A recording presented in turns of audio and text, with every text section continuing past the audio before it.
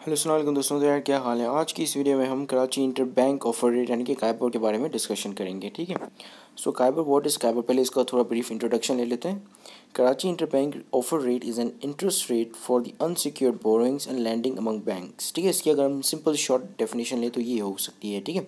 अब ये बेसिकली ये वो इंटरेस्ट रेट होता है, ठीक है? इंटरेस्ट रेट की तरह एक रेट होता है, जिसपे बैंक्स जो है, वो ओवरनाइट अपने आप एक दूसरे को बोरोइंग्स या लैंडिंग करती हैं, ठीक है? पैसे।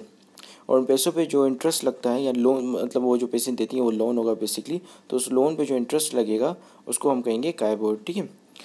तो बेसिकली ये कायबोर रेट जो है वो कंज्यूमर को भी अफेक्ट करता है, क्योंकि जब भी बैंक जो है वो कंज्यूमर को लोन आउट करती है मनी तो ये होता है कि वो कायबोर प्लस इंटरेस्ट रेट फिर चार्ज करती है, ठीक है? और वो हम देखेंगे कि उसको जो फाइनेंशियल लैंग्वेज में या बैंकर की लैंग्वेज में हम किस तरह बोल सकते हैं, ठीक है? सो so, यहाँ पे अगर आप देखें तो आपको यहाँ पे टेन ईयर नज़र आ रहा होगा और बिट एंड ऑफ़र प्राइसेस यहाँ पे या रेट्स यहाँ पे नज़र आ रहे होंगे ठीक है? अब टेन ईयर ये ईयर बताता है मतलब कितना टाइम टाइम बताता है टेन ईयर के कितने टाइम के लिए ये लैंड आउट किए गए हैं ठीक है पैसे?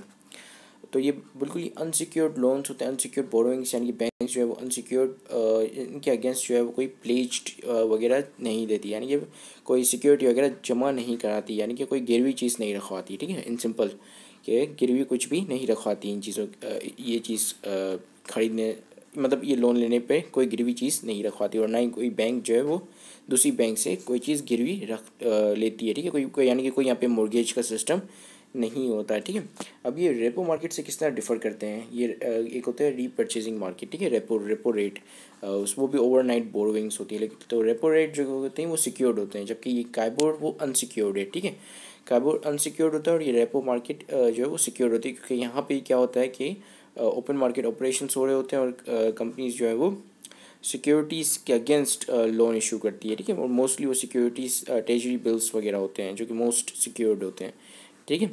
तो देखो अब ये जो बिट प्राइस है, यहाँ पे इस प्राइसेस पे लोन जो है वो अपने कंज्यूमर यहाँ पे हम कंज्यूमर की बात करें, अपने कंज्यूमर से, इस बिट प्राइसेस पे कंज्यूमर को लोन ऑफ़र करती हैं, यानी कि सॉरी लोन लेती हैं कंज्यूमर से, ठीक है? यानी कि तो अगर बैंक को लोन लेना होगा तो बैंक जो है ये बिट प्राइसेस आपके सामने रख देगी, ठीक है? कि यानी कि बोलेगी कि भाई हमें लोन लेंगे, हम इतने परसेंट इंटरेस्ट रेट पे, ठीक है? यानी कि ये सिक्स पॉइंट थर्टी थ्री पे इंटरेस्ट रेट पे बैंक जो है वो लोन लेगी आपसे ठीक है?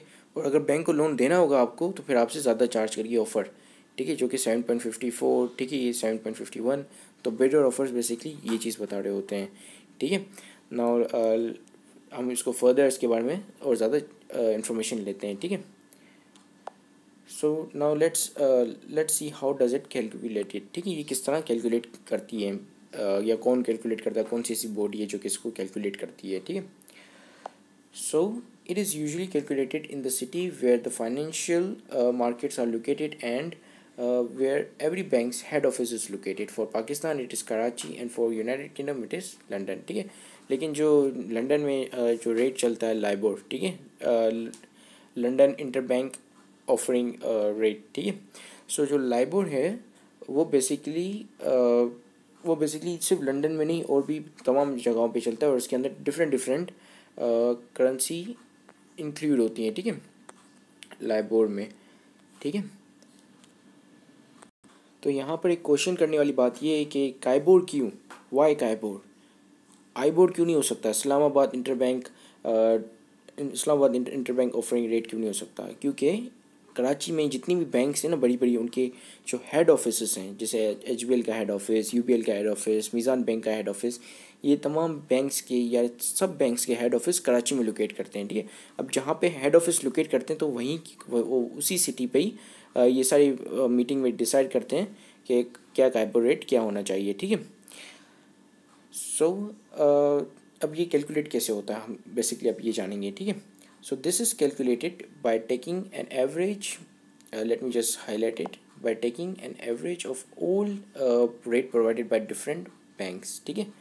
सो ये किस तरह कैलकुलेट होता है कि लेट सपोज़ पहले ये नहीं हुआ करता था, ठीक है? कोई भी कायपोर या कोई भी ऐसा रेट नहीं हुआ करता था। आप डिफरेंट बैंक्स में जाते थे, आपको डिफरेंट रेट्स मिलते थे। या बैंक्स जो है, एक दूसरे से लैंडिंग बोरोइंग करती थी, दूसरे डिफरेंट डिफरेंट रेट्स अपने जो रेट्स डिसाइड करती थी, ठीक है?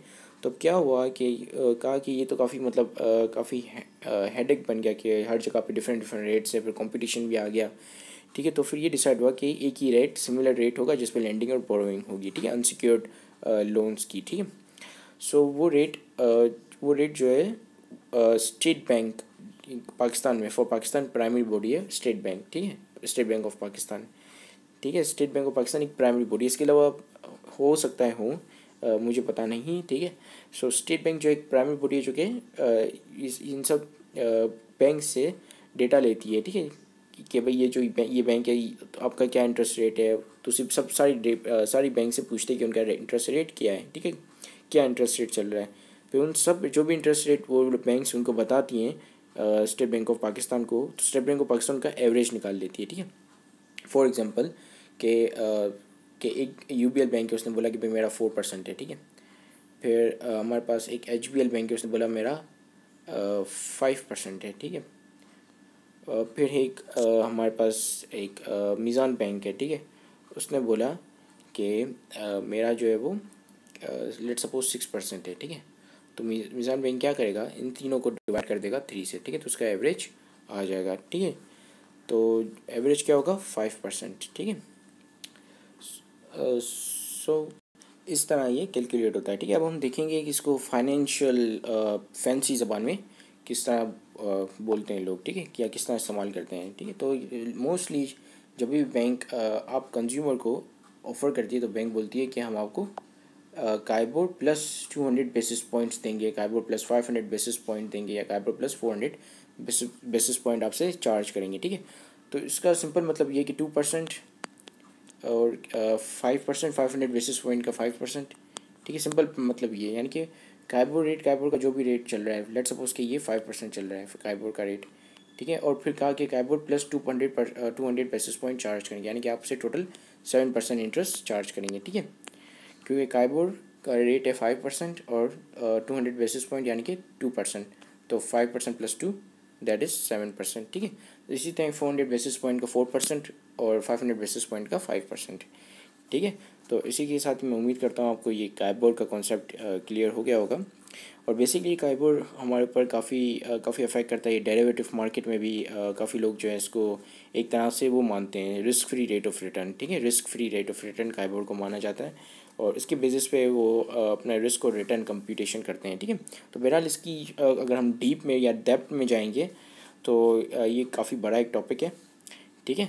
और अभी के और, और, और अभी के लिए क्योंकि मुझे इसको काफ़ी सिंपल करके या शॉर्ट करके समझाना था तो मैंने अभी के लिए यहाँ पे ये वीडियो ख़त्म करता हूँ, ठीक है? So have a great day thank you very much watching this video and अल्लाह हाफिज़